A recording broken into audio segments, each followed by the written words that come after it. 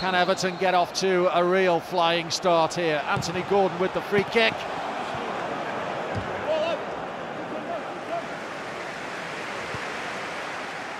Redmond on for Ings from Adams.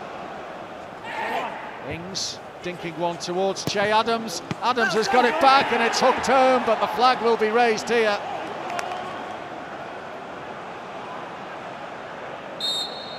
And Anthony Gordon is over this along with Lucas Digne who goes for goal and kills it wide of that right hand post of Alex McCarthy.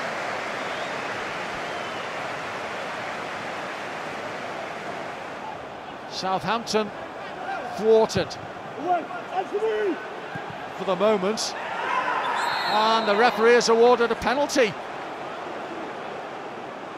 James Ward-Prowse steps up and hits the crossbar.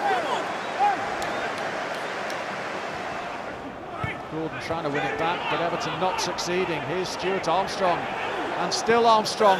Ings is offside, surely. Ings has put it into the net, and the flag stays down.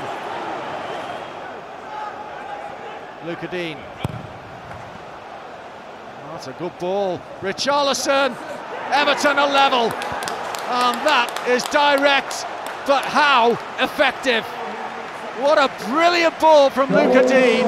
The control from Richarlison, and then the finish.